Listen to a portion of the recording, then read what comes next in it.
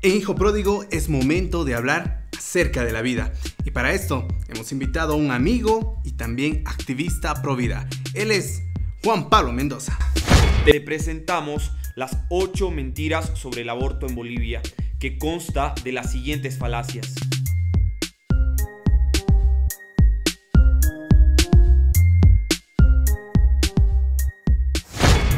Mentira número 1. El aborto es el mayor problema de la salud pública. Una de las principales víctimas de los grandes problemas de salud en Bolivia son las personas del área rural y campesinas que quieren tener a sus hijos. El 70% de las muertes maternas son durante el parto y posparto, lo que significa que las mujeres están luchando por su maternidad, pero estas mujeres no reciben la atención médica necesaria. Esto es el verdadero problema de salud pública. Mentira 2.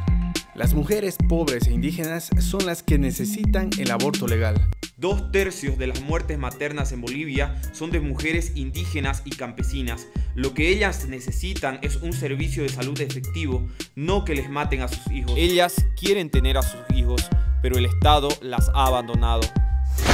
Mentira 3. Hay 80.000 abortos clandestinos. El aborto es la tercera causa de muerte de nuestro país y el 13% de los abortos clandestinos terminan en la muerte. El dato de los 80.000 abortos clandestinos en Bolivia es absurdo, pues la clandestinidad no se puede medir. Y bajo esa lógica estaríamos hablando de 10.400 muertes por aborto clandestino en Bolivia. Nada más lejos de la realidad. Según datos de un último estudio de mortalidad materna del Ministerio de Salud, tenemos 538 muertes maternas.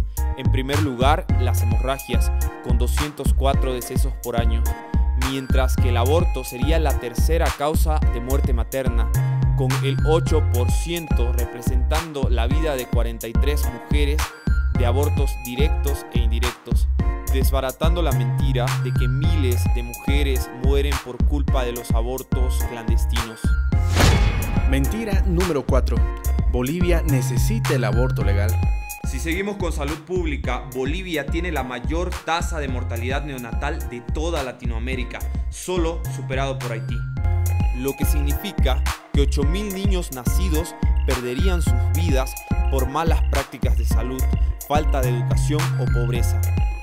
Te dicen que las mujeres pobres son las que mueren por abortar, pero lo que en realidad están diciendo es que para eliminar la pobreza es mejor matar a estos 8.000 niños antes de que nazcan. ¿Hay algo más discriminatorio que eso? Si nada más nos damos tiempo de pensar en legalizar el aborto como prioridad antes de atender los cuatro puntos anteriores, significa estar pensando totalmente fuera de la realidad y la lógica. Bolivia no necesita el aborto legal. Mentira número 5. Educación sexual para decidir. Anticonceptivos para no abortar y aborto legal para no morir. Más del 84% de los abortos en los países donde está legalizado ocurren pese al uso de anticonceptivos. Así que la frase Educación sexual para decidir, anticonceptivos para no abortar y aborto legal para no morir. Solo es un eslogan sin sentido. Mentira número 6. El aborto se debe legalizar porque violan a las mujeres.